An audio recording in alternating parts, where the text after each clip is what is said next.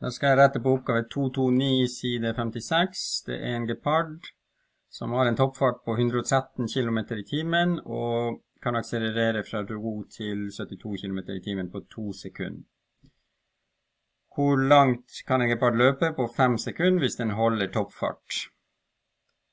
Så hvis den holder, så jeg, må, jeg kan begynne med å skrive ned hva vi vet, hva vi har fått vite. Vi har fått vite at eh, toppfart, som jeg kan, jeg kan, kalle VT, ved topp, er 113 km i timen. Og der ser jeg kilometer i timen er ikke en S-enhet. Og siden det her er et kapittel om akselerasjon, jeg regner med det blir noe med akselerasjon her, så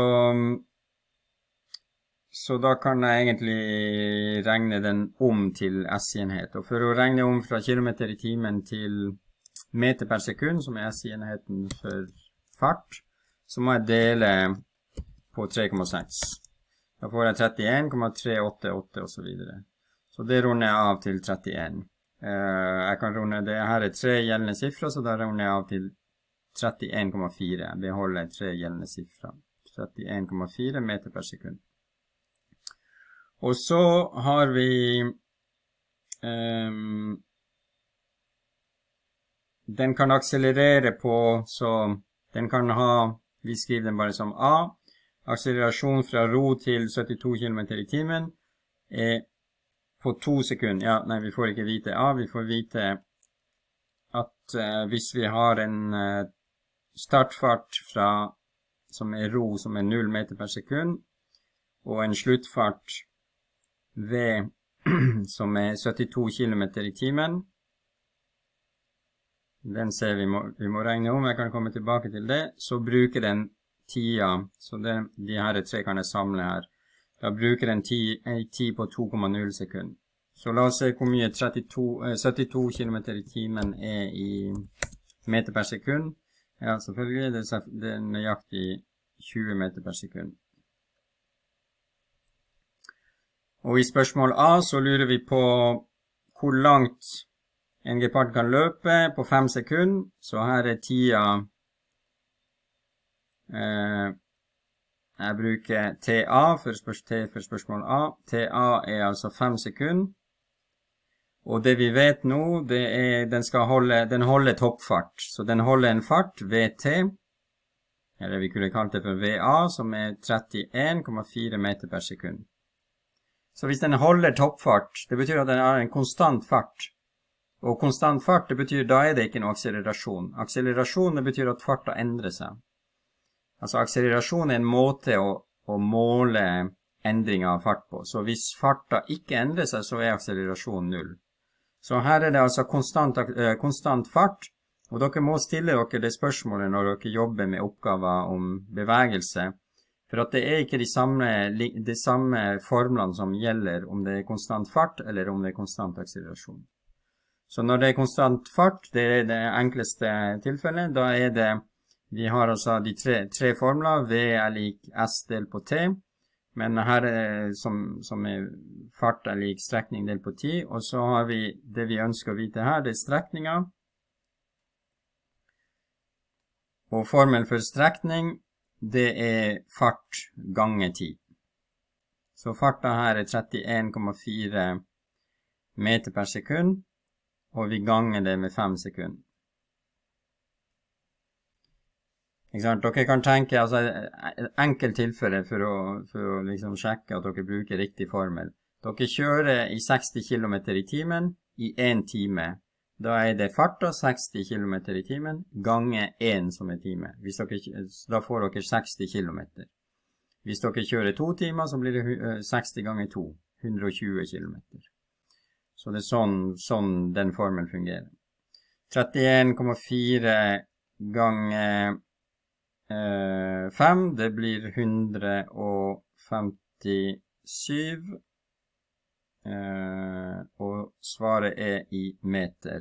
S-enheten S-enheten for um, strekning. Har jeg skrevet det med for mye Nei, vi har tre gjeldende sifre, så jeg beholder tre gjeldende sifre. Og så, på spørsmål B, da lurer vi på hva er hvor stor gjennomsnittlig akselerasjon har geparden de to første sekundene, sekundene når den starter fra ro. Så her er det akselerasjon som vi lurer på. Da regner vi med at det siden vi skal regne ut akselerasjon, så er det faktisk en akselerasjon. Skal vi se, nå mister jeg de verdiene her oppe. Sånn.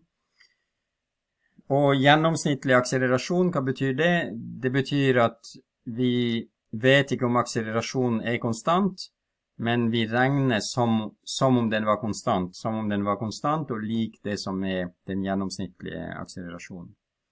Sånn at farts, um, det vil si um, den um, Det vil være samme Den endringa, den, den fartsendringa som vi har fra 0 til 20 meter per sekund, den kan skje med konstant akselerasjon eller med varierende akselerasjon, men i begge tilfellene så antar vi at det vil ta to sekunder. Så siden vi ikke vet Vi vet ikke hvordan vi regner, eller vi har ikke mer informasjon for å vite om akselerasjonen er konstant eller ikke. Så vi regner ut hvordan det er hvis den er konstant. Det vil si at da får vi det vi kaller for en gjennomsnittlig akselerasjon. Og det gir en idé av hvis den akselererer med konstant akselerasjon, hvor mye vil, vil den akselerasjonen være? Så det er en form for et, et tenkt tilfelle. Vi har ikke mer informasjon, vi, vi, løser det på den måten. Det var en lang forklaring som jeg håper ikke forvirrer mer enn den, enn den, enn den hjalp. Ok, så da er, er, det egentlig bare definisjonen av akselerasjon. Det er sluttfart minus startfart delt på tid. Og sluttfarta er 20 meter per sekund. Startfarta er 0 meter per sekund. Og tida er 2 sekunder. Så det er en ganske enkel, et ganske enkelt regnestykke. 20 delt på 2 er 10. 10 meter per sekund i andre. Og i oppgave 222 så hadde vi et fly som skulle lette, og det hadde en akselerasjon på to meter per sekund i andre. Sånn at geparden, hvis, hvis de tallene her er riktige, så akselererer den fem ganger raskere enn flyet. Til gjengjeld så akselererer den opp til 72 km i timen, mens uh, flyet um, kommer opp i ja, hun, over ja, jeg vet ikke, 200-300 eller hva det var, før, før det lette.